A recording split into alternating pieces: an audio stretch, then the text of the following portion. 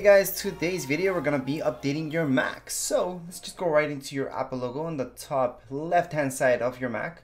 So that's right here, top left. We're gonna see this second option where it says system preferences. However, if you guys are, for example, in Sierra or any other OS, then the update would be from the App Store, okay? So for those of you who are up to date, however, there is this little update coming up, just going right into system preferences.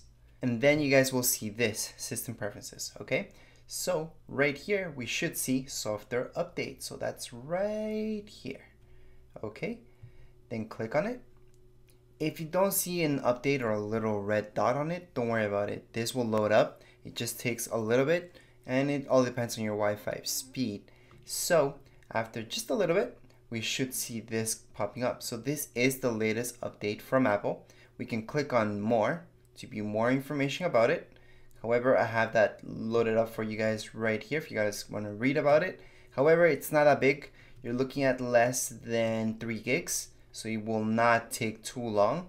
Alright, so downloading time, yes, it's not going to take that long because it's only 2 gigs, so you're only looking at 5-10 minutes for most of you. Yes, if you guys have slower internet, this could take up up to 30 minutes or even a little bit more than that with really, really slow internet. The installation time will not take long at all. It's just gonna restart and then you guys can keep going. Before doing this update, I do always suggest making a time machine backup. So that's right up here. I have my time machine. I already made a backup right now. I can just click on backup now and then I'm done. I do have a separate video showing you guys how to mess around with that and Time Machine is something that's pre-installed on your Mac.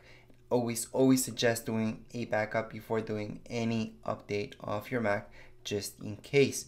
Anyways let's just click on install now and then it's gonna start downloading. So I'm gonna click on downloading restart and there we go.